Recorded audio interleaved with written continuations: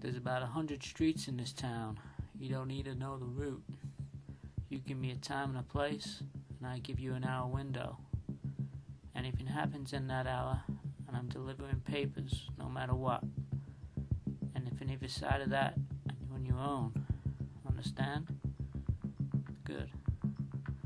The post is Wigan News, and you won't be able to reach me on this phone again.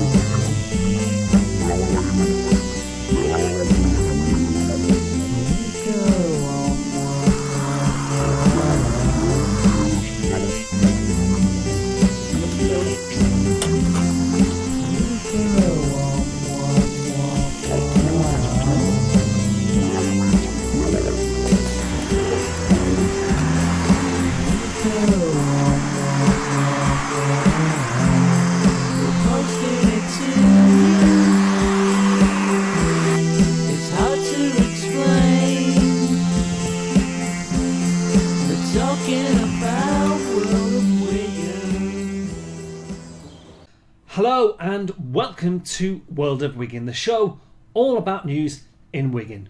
Don't forget to follow us on Twitter, twitter.com slash world of Wigan, or Facebook at facebook.com slash world of Wigan.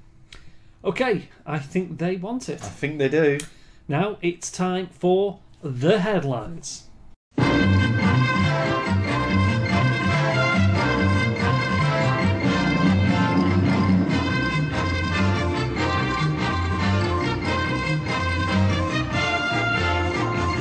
Hindley athlete attempts to swim Lake Windermere.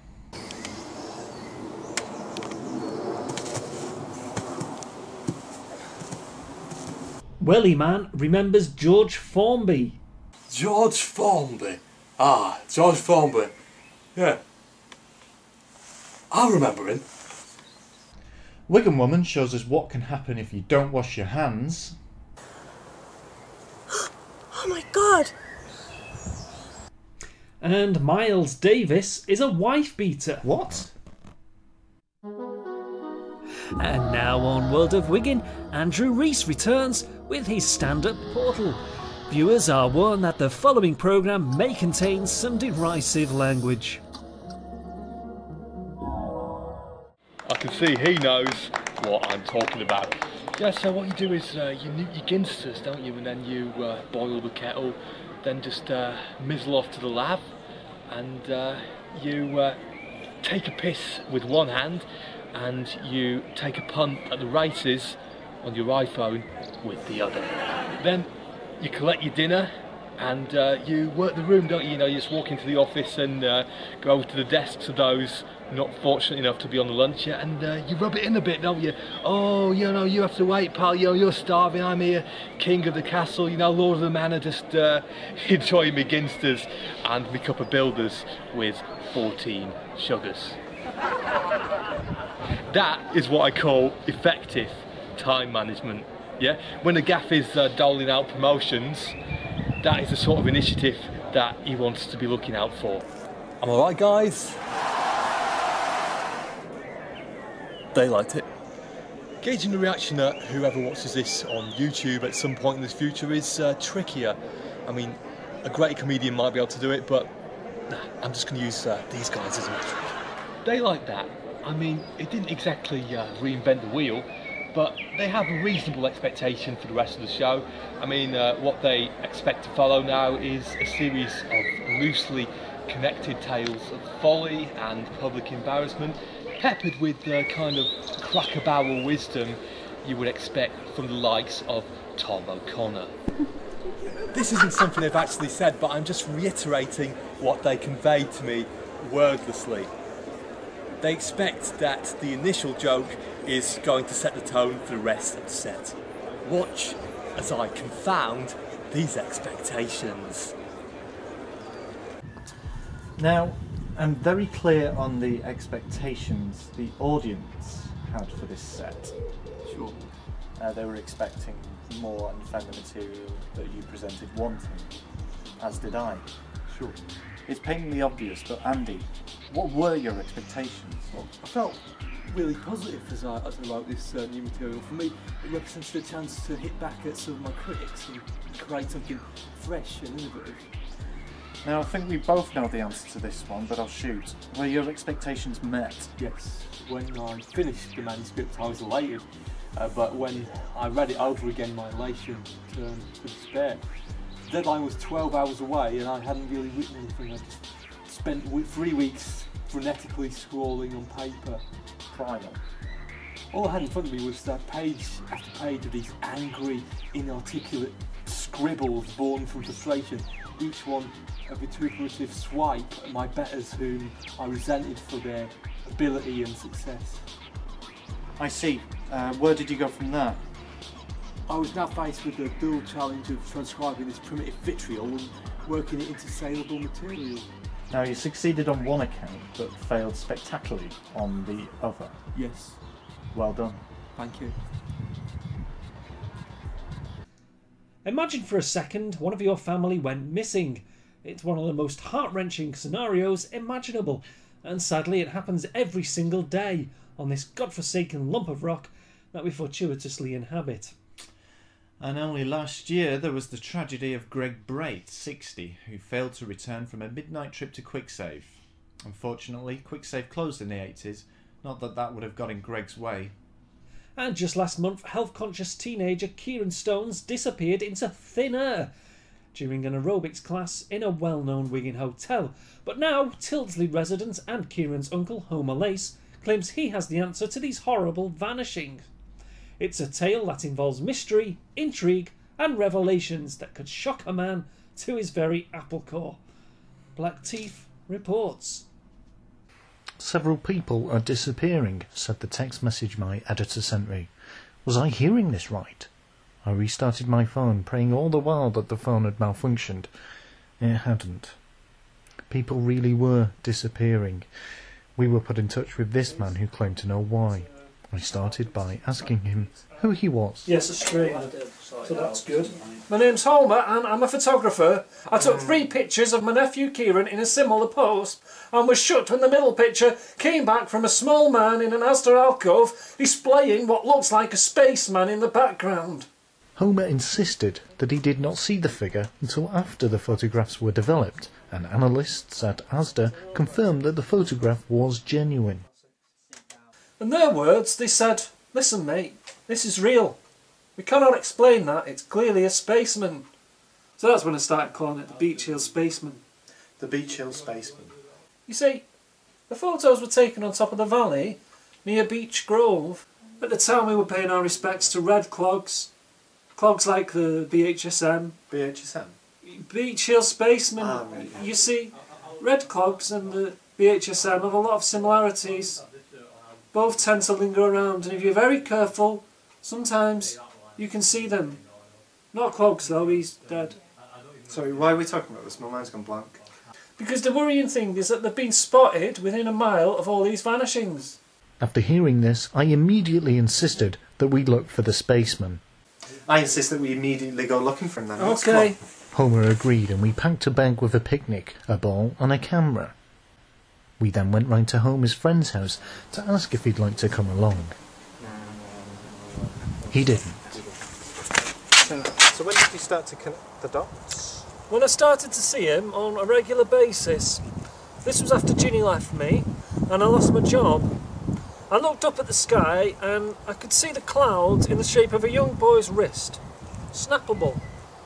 It was whilst Homer was telling me how to make love to a fairy that I received a text message from my boss informing me that Homer had married a balloon in May and was a well-known liar. Last week I got visited by two men from the government. God. They would only be identified by number and they said that they were watching me. Why? Well, good question. They told me it was classified. Do you know how the government actually watch people? No, hi. Like this. After realising we'd wasted a day's filming and weren't going to get paid without an ending, fellow reporter Ed Rand took it upon himself to deal with the situation in the only way he knew how. By knocking it on the head. Blackteeth, World of Wigan. Hi, I'm Duck Stone, and here is my most recent poem. It's called The Ghost of Xabi Alonso. Here it goes. The comedians Dennis and the Punt, West Brom's midfielder Chris Brunt, back to front, vagina.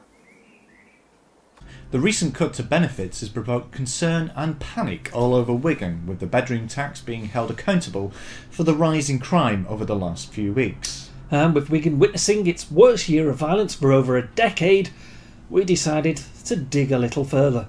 Cliff Cliff has this exclusive. Hello. Oh, I was wondering if you'd be interested in purchasing some pennies. No, I'm not interested. Bugger off. This is just an average day for Tekken Smith, the 33 year old salesman from Beech Hill. Tekken had his benefits stopped earlier this year and has taken to selling items door to door to try and earn enough money to survive. Yeah, I was really after you as a tour guide because no good at how the word seen. Yeah, I just started selling door to door uh, after the benefits got stopped because uh, my car had since had job centre and uh, uh, just stopped it. So, um, how are you finding being a salesman? Bad, Yeah. uh, to be honest. Uh, last last week I, I landed my my for a, place was for ten pounds. Uh, and Ian was and uh, it sank, so I got it back and I think it stinks. If this continues, to be honest, I could always feel like a kind of karma or something. It's alright, I'm sure things will pick up for you, mate. A sad tale that needed a response. My team of researchers managed to track down the job centre employee Sam Park, whose team callously imposed these sanctions on Tekken. He had this to say.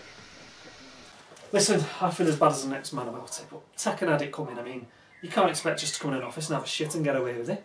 With this cat, you can't do anything like this cat. It wasn't his cat. He doesn't even have a cat. Look, I can prove it. See? But Tekken isn't the only one to fall on hard times. Danny Shrimp was an artist and primed for success. She was shortlisted for the Turner Prize, but then her benefits were stopped, and Danny got involved with breaking the law and taking drugs. She's now crazy.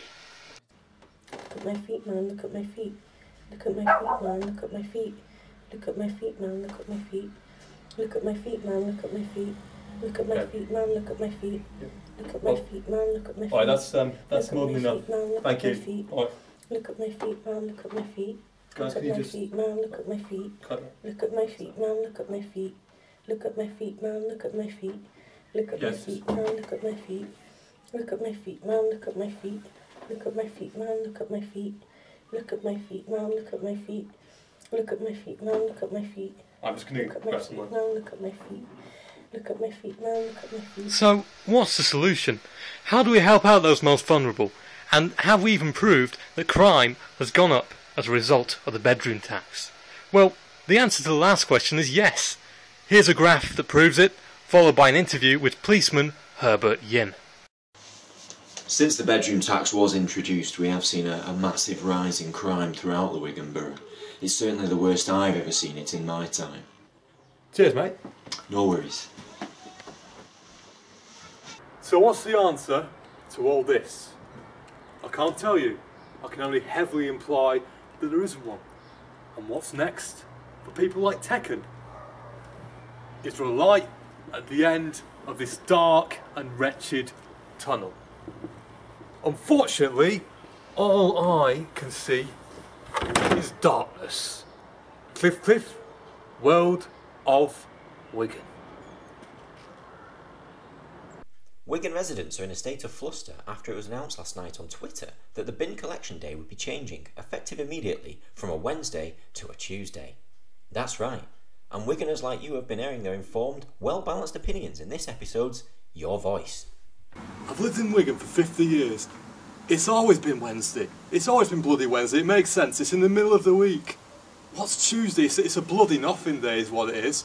I tell you what, when Tuesday comes around, I will not be putting my bloody bins out. I don't care if they put me in jail. It's political correctness gone mad. At least there's order and structure in jail. They can throw me in for all I bloody care. Fuck 'em. Yeah, I don't even know what um, bin days are on now. I just flush everything down the bog. Well, you you really shouldn't do that. Yeah, I know.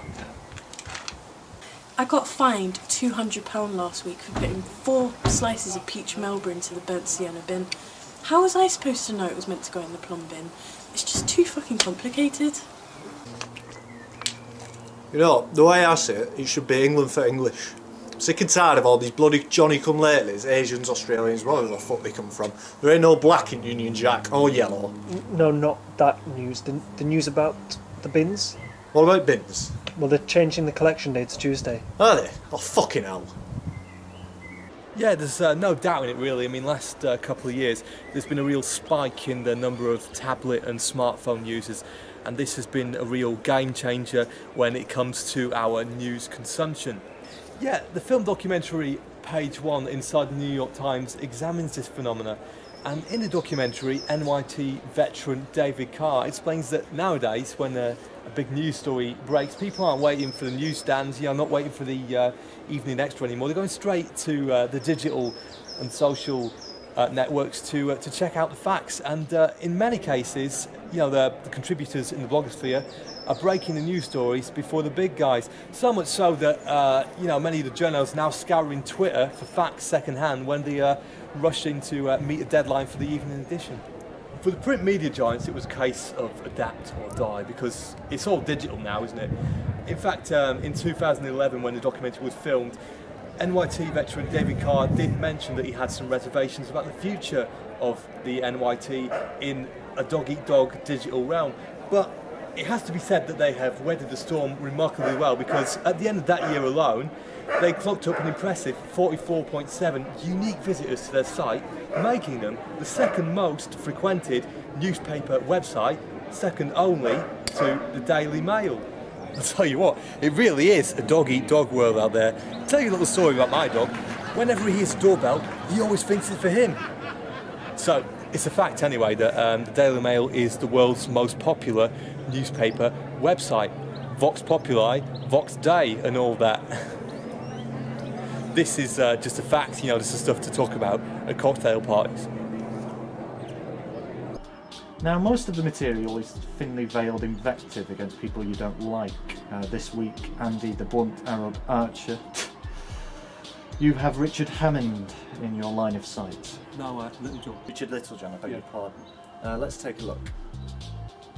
Given that the Daily Mail is uh, most popular, I think it's safe to assume that, that, that most of you uh, will go there for your news and that the Mail is broadly well liked by this uh, cohort. No? No? No. Oh. This routine's going to go down like lead balloon? No. Of course, I'm a professional comedian and savvy enough to realise that most of my audience may be uh, left leaning or libertarian, and that is why I have written a routine that would placate an audience that do not like the Daily Mail. What about that uh, Richard Littlejohn, eh? That messiah of Middle England's mediocrity, that paragon of curtain twitching paranoia, that zeitgeist of the mildly xenophobic. Anyway, I have a story about Richard Littlejohn. A little while back, I was uh, waiting in the queue at a branch of Waitrose in central London. I'd been to the co-op earlier, ordinarily my loyalties would lie with them, but on this occasion they were all out of chicken liver parfait. And who should I see in front of me? Who should I see in front of me at this central London branch of Waitrose but Richard Littlejohn. I was absolutely astonished to see Richard Littlejohn in front of me, Andrew Rees, at a branch of Waitrose in central London. If you had told me that morning that I would see Richard Littlejohn right in front of me in the queue at Waitrose in central London, I would, I would have laughed you out of the bloody room, is what I would have done. I felt injured. I felt that the Mail's widespread influence across these aisles had been an insidious one. Hello, Richard, I said. Hello, Andy, was his reply. I've seen you on the telly, but I can't say that I was impressed with what I saw. You seen me on the telly, I asked. Yes. Well, I don't like the Daily Mail and what you do, Richard. Oh. What do you have to say about that? Andy, if you knew my story, if, if you knew my story, Andy, then perhaps you would look upon me more kindly. After all, you are in the wrong here. Try me, I said. Political activists in Wigan have begun plotting their response to the rise of the UK Independence Party in the recent local and European elections.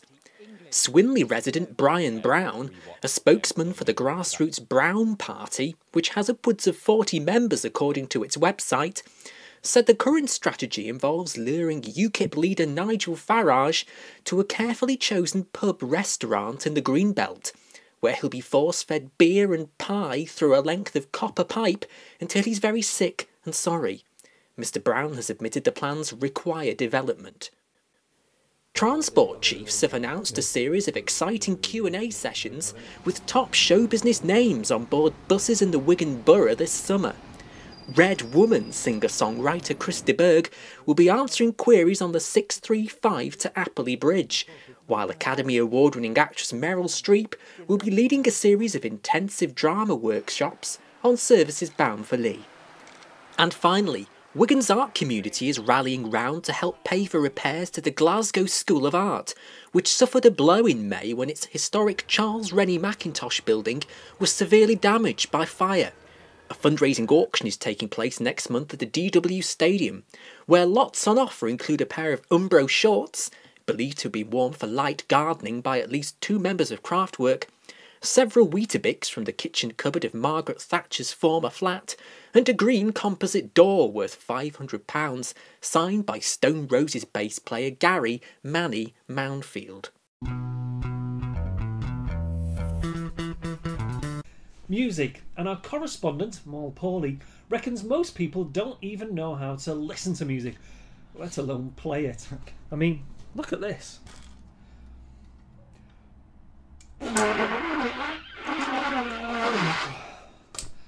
Pathetic. Yes, it is. So Paulie has given Free Joseph Publix the challenge of listening to a single difficult piece of popular music. Actually, can I have a go on that? Huh? Can I have a go? This? Yeah, give us a go. You can't play it. I can play it. I'll put this down. No, I can Let play him it. play. You can't Yeah, play go on, it. have a go. What? I, can, I actually can. You can't play. You can't play, mate. You can't play a note. He's not musical. No, I was in a little group in college and I was You playing. weren't. Yes, I was. You're gonna. This is the credibility of the show on the line. I You don't. realise I, that? don't- I, that I did. And I, I, practiced I don't want to let this. I don't want to I let prac- him go because I know what I he's like. practiced for about four years. Go on. Okay. I've got to see this. you can't play the trumpet. Hang on, hang on. Yeah, I've worked out. Uh, yeah, I know what's going to You're, you're going to play into the tree. You're going to pretend to play Music's No, gonna that's dub not over gonna the happen. top. I I've can heard actually it. play Yeah, it. I- I can I've heard play it. it. I can play it. You don't Has trust he me. has he got Why an do you always agreement with think you? that, Mike? He's got he's Why- got an do you agreement have with the such a producer. low opinion of me? The that music's you gonna think dub I'm over the top. Right, this Jamie, I just know let you and me- your cliches. I remember that thing last time No, with the puns. Let, let me play it. Just the puns. You remember No, that, come right? on, He's no, not. I'm on. not letting him play it. This is the credibility of the show. Give it here. Just give it. Give him a go. Right, come on, come on, don't be stupid. Come on, This Jamie. better work. eh? It will. Come on. You do that music dubbing thing. Come on. Go on, Jamie.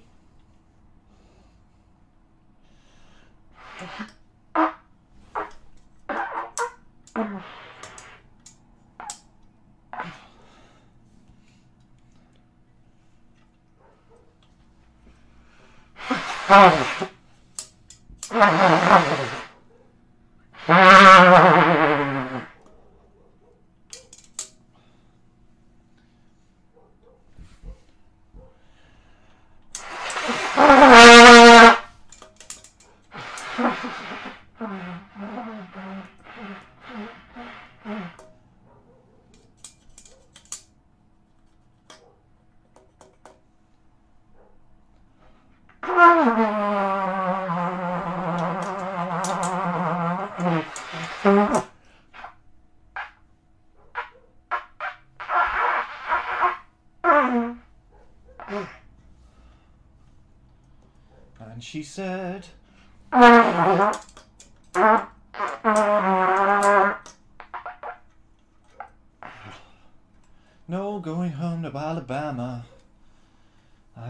steps in my house.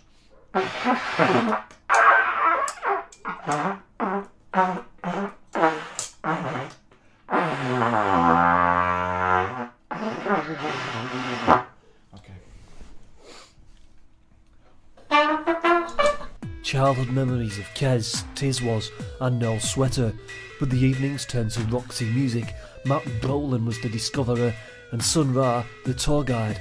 The encore, their concierge of musical taxonomy, Brian Eno. Carl Jung said children are educated by what the grown up is, not by his talk. Well, this is my talk. I am the commentator, as Iggy Pop never said, that was the passenger. I am the gatekeeper, a responsibility to instruct an impassive public. Imagine my horror then when I was asked to choose three reasonably easy listening tunes to three reasonable adults, only to be advised that our subjects may fail to grasp the simplest of expressionist ideas. Something was amiss in this exchange, and not just in this tale, but this shot, me as I walk aimlessly through frames. Am I somehow creating a reality that exists merely in the restraints of its context? Or was this an alternative reality where the complexity of its meaning gave credence for its claim to somehow be the reality? We don't have time to address that now. Like the process of fast moving traffic, it was time to move on with this segment. I've chosen Pulk, Pull Revolving Doors from Radiohead's Amnesiac album. It took 10 years for some critics to accept it made its mark, but how would a member of the public make sense of it all? Music. Jesus, what a load of shite. that was absolutely brutal.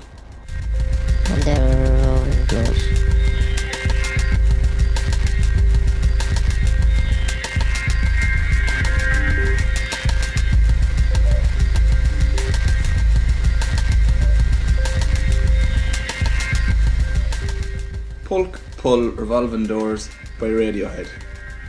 Four minutes of the same electronic shite.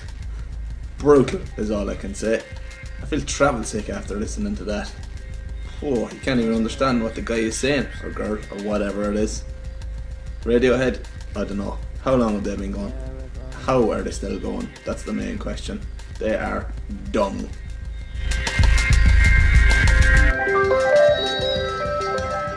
My second choice is an obscurity from duo Kevin Doria and Joe DeNardo, also known as Growing. Three minutes of serene drifting, giving way to another three minutes of godly industrial howls, as if the cogs of heaven churned away to invent another colour, the colour of sound. But how would this process sound through the cogs of the untouched? Well, it's, it's shite really. Didn't really know what to make of it. Like it was, it's not something that I've ever watched, I've ever listened to before, so I couldn't compare it with anything. Um, but my overwhelming conclusion was it, it was basically a, a pile of wank. I suppose the, the, the word you're going to use is abstract. It's very unusual. It's like a bunch of random sounds and mixed up, played backwards. There's no sense to it. It's just, it's completely nonsensical. It's not music. It, it's it's just it's turd. It's just a bunch of sounds, no meaning to it. I don't like it. I, I don't dislike it. I wouldn't listen to it again. It was rubbish. The thought when, when I try to kind of sum it up in my head, what it, the feeling, the the imagery that it produced in my mind, it was kind of like a, an elephant farting through an electric harp.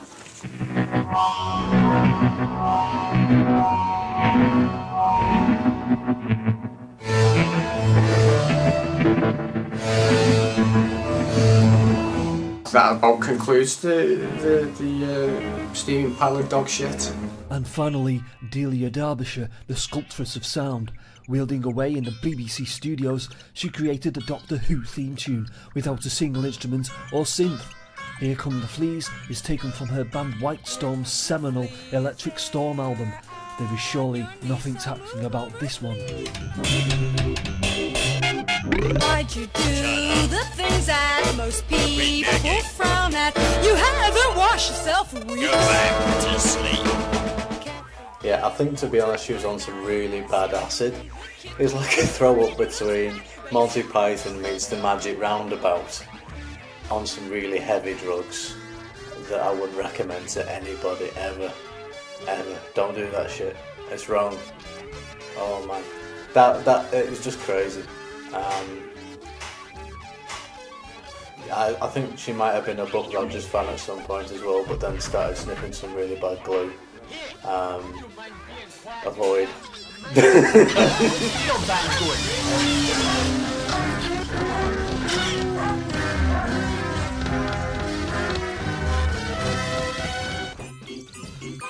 utter garbage. Um, innovative it means that it should be going somewhere that had no direction at all. It was all random.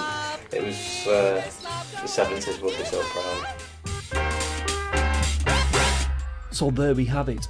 To the learned, three songs that define what it is to be human, where boundaries are like bookends of the universe. But to the uninitiated mass, it was nothing more than alien distress codes, random sequences of noise, not yet, and perhaps not ever, to be translated. Join me next time when I'll be uncovering Dutch elm dancing in Marbella. I feel you watching me. In the garden. Wonder if we got it wrong. In the garden. Cutting branches, mowing daisies. In the garden. I wish you were here. In the garden. Night time. I tried to say I love you. In the garden. My mouth was full of cornflakes. In the garden. I sit here, naked and alone. For I am the ghost. In the garden. The ghost who never speaks. In the garden. The following sketch was filmed for the previous episode, World of Wigan 3. However, Professor Richard Wiseman, aka That Bloke Off the Telly, disputed that the sketch entitled Understanding Ghosts makes misleading claims which are as fanciful as they are dishonest. Wiseman contests that Dr. Zenith's notes do not offer scientific proof of ghosts and that There is a psychology here. I don't think we're looking at anything paranormal. Wiseman claimed that Dr. Zenith performed pseudoscience and convinced the courts to put out a legal injunction on Dr. Zenith's TV appearances. Dr. Zenith forced a retrial in which he proved that the term pseudoscience was the most overused cliche used by materialist skeptics in the 21st century. As a result, we are now able to show you Understanding Ghosts. We hope that this is of some comfort to you. In an age characterised by greed, neoliberalism, and zero hour contracts, without the right qualifications, finding your place in the careers market can be a devastating hardship. That's right. There's no room for sentiment in business, as even the most menial jobs now require an exemplary academic record. You've got to hit the books to get ahead. Many young people have written to World of Wigan saying they're unsure where to turn. In response, World of Wigan has worked with local businesses to develop a free accredited home learning course which teaches students essential workplace skills in a series of spoon fed, rote learned lectures. We're pleased as Punch to introduce WOW University. A WOW U qualification will fast track you to exciting careers in the abattoir, panhandling, shrimp, and travelling fairground industries. You can earn your WOW WOW. U stripes by completing the coursework on our website. Our first lecture, Understanding Ghosts, is presented by Dr. Warren Zenith. We're sure you'll find it illuminating. Now, I'm no doctor, but I understand this perfectly well. Do we really need to teach people this stuff? Well, that's a question I can't really answer until I've seen the course. Understanding ghosts. Understanding ghosts. I won't repeat that. Over a period of eight years, I had weekly discussions on the nature of the ghost with numerous advanced mediums and practitioners of the mystic arts, including Madame Eldridge and Dr. Lenny Ravenbaum. This lecture is the culmination of our debate and research. The big idea was to distill ghostly thought to its core essentials, to take these admittedly esoteric ideas and bring them to the everyman. Now, I understand I am working with a mixed ability group, and some of you will grasp this material concretely, others only implicitly, and that's fine. The idea is however much or however little you need to apply these ideas in your work, in your lives, whether you're a respected educator or a select or a community college dropout, is not an issue. You act honestly and appropriately when interacting with those in the nominal world. That is what I want you to take home from this lecture. Now, I appreciate these fundamentals have been tricky for some of you to grasp, and I see there's quite a few in our number who are retaking from last semester. Let's hope you have better luck, or study a little harder this time around, guys. Okay, to get the ball rolling, we have Nathaniel, a volunteer. Nathaniel, I want you to explain in your own terms what is the proper uh, proper method for uh, differentiating between a false ghost and a real one. Okay, first of all, a ghost must possess a singular identity. A is A, the ghost is itself. Any apparent contradictions, such as a pair of human feet sticking out under the ghost, should be investigated. Also, animal feet, as a cat or a dog, could made to wear a ghost costume. They have not knowingly tried to deceive me. I know that. Say a cat can't simultaneously be a ghost and a cat. If it is a ghost of a cat, then its ghost is identity. It's merely has the ghostly form of a cat. And anyway, a real ghost, well, you could walk through one, it wouldn't be solid.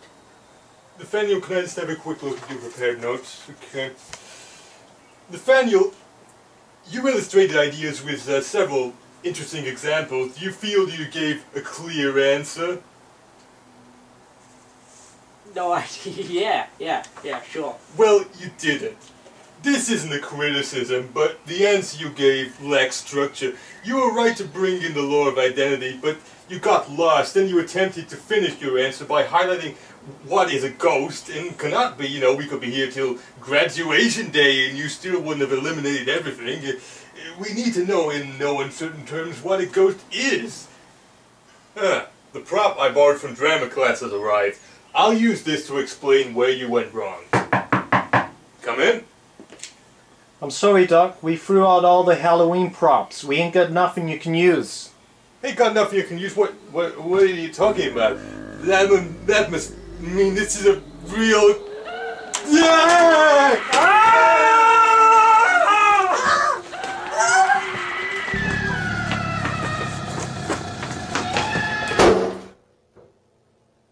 Hey up, it's Bobby Robbo. Not to be confused with Nobby Stiles, Turnstiles, or a Freemason. Speaking of which, today I am looking at Freemasonry in Wigan. Or am I? The agents at my door suggest I am. Typically, there are 33 steps in the Freemason hierarchy.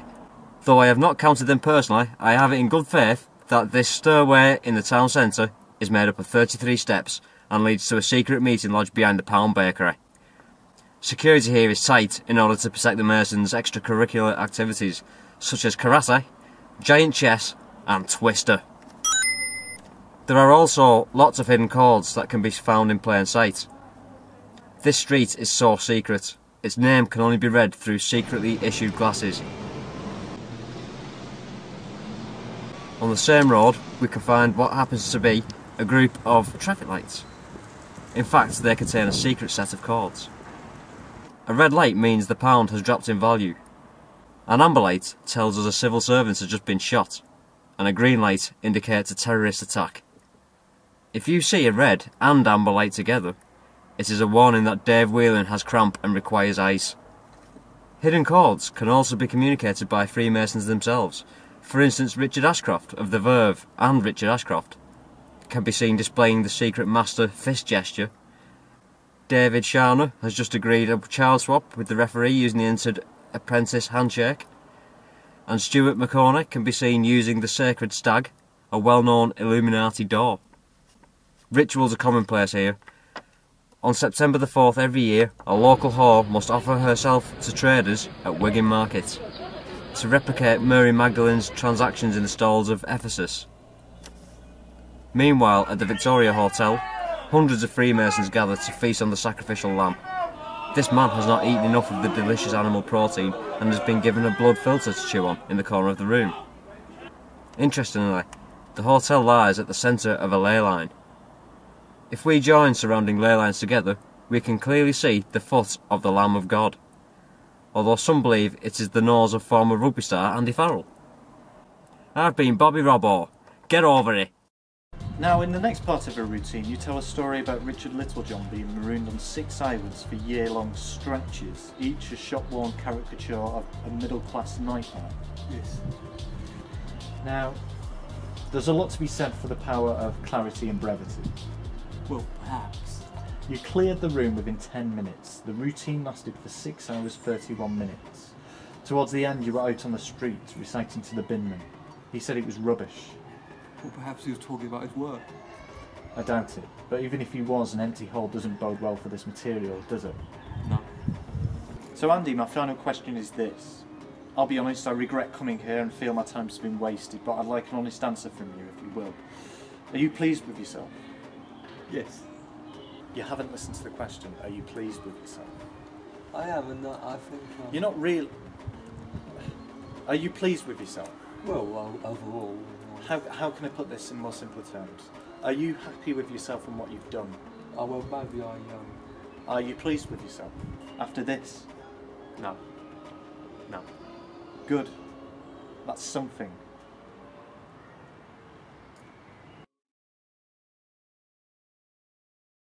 Richard, the image of you that I have burned upon my psyche as some kind of deeply insecure, sociopathic, yellow press magnate has softened.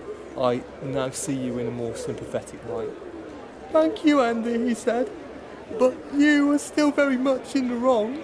See, this aisle is five items or less, and I count at least eight in your basket.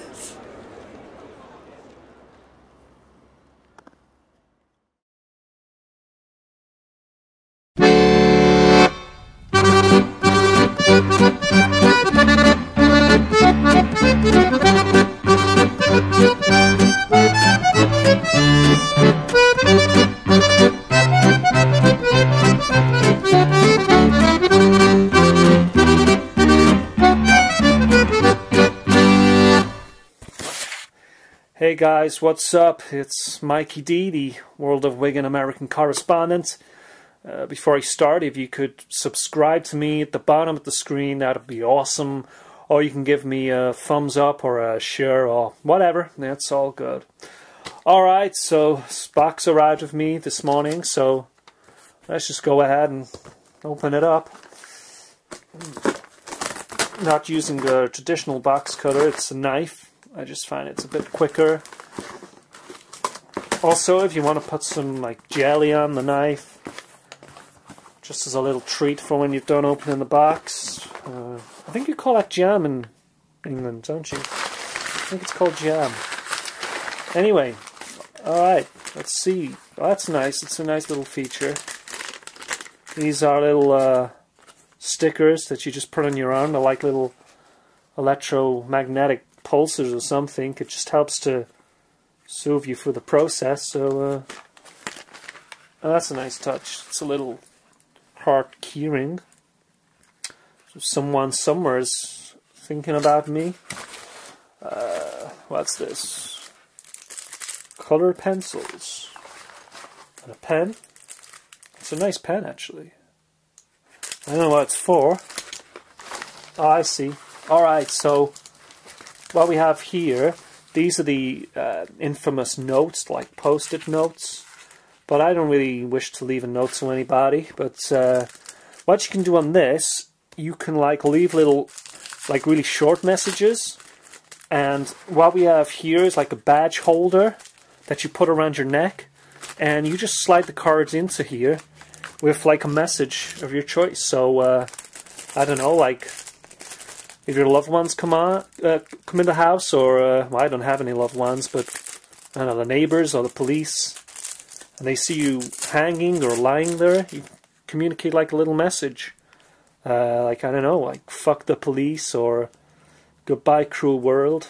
So, I have to think about uh, what I'm to write here. Okay. Now that I have your attention.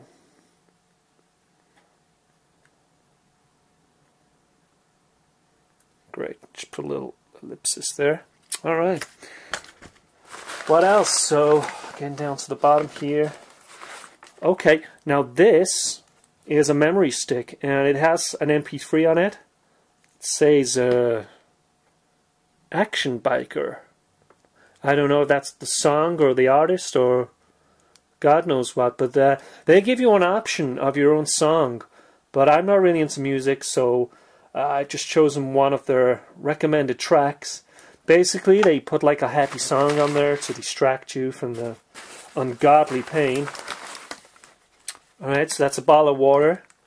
You think maybe they would give me a more uh, expensive brand, or even holy water or something, I don't know. I heard the Oklahoma the Oklahoma bomber had mint ice cream for his last meal. I mean, what do I have to do to get an Evian or something? You know, blow up Walmart or something. All right. So, well, this is what it's all about, guys. You can get these packages for like 100 bucks, but the price goes up higher depending on what you want, um, how you want to go. I mean, I actually wanted to order a rope but it was like 150 bucks for a gallows nut. So I own one of these. These like C-listed uh, cyanide pills. You can get less painful ones, but this is all I could afford for my giro. So hey, at least you won't have to pay my taxes anymore, right, guys? All right. Okay, so that's it. I'm all done. Uh, I'm gonna go and put this action biker on, and I'll see you soon. Uh, well, I won't actually, but. Uh, I'd still appreciate it if you could subscribe um, to the videos. Let's get the channel up to 1,000 likes. And, well, just be sure to check out my other videos and fill in the comments section below. Yada yada, that's me. I'm checking out. This is Mike D. See you in a love of life. Sweet. Peace.